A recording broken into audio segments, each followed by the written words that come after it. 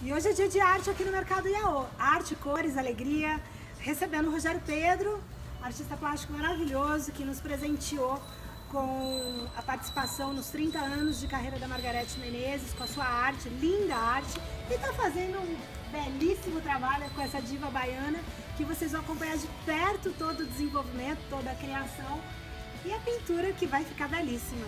Bem-vindos ao Mercado Iaô, bem-vindos à arte.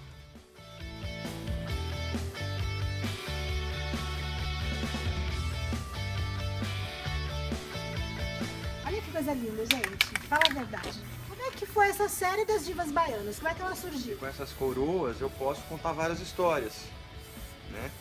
Então, quando, ela, quando a diva é baiana, eu posso ter uma história da Bahia, posso ter uma história de, de várias coisas. Rogério, como é que você se envolveu especificamente com o grafite? Porque artes plásticas tem várias vertentes. O grafite em si entrou na sua vida a partir de quando? Como é que foi essa sintonia toda? O grafite entrou na minha vida em, em 88, 89. E aí eu comecei a pintar. É, né, em 89 eu fiz um. cheguei a fazer é, o primeiro trabalho assim, comercial. Acho que eu tinha na época 16 anos, 15 anos. Tem hoje muitos artistas do, do grafite que são muralistas, né? Então a diferença básica é que o grafite você faz ele, ele, ele na rua sem, sem permissão. E o mural, o mural você geralmente tem uma permissão para fazer, né? Você tem um projeto, um estudo.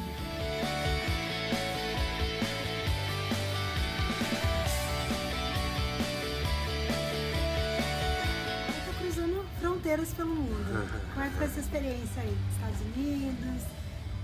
Então, eu tive a primeira experiência agora em Miami em Nova York.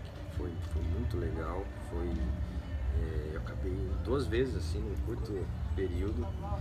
E, Inclusive já tem telas suas lá, né? em Nova York, na Bolívia, é, na França, na Espanha e agora em Miami eu tô com uma, uma representação, uma galeria e eu fiz três grandes murais lá.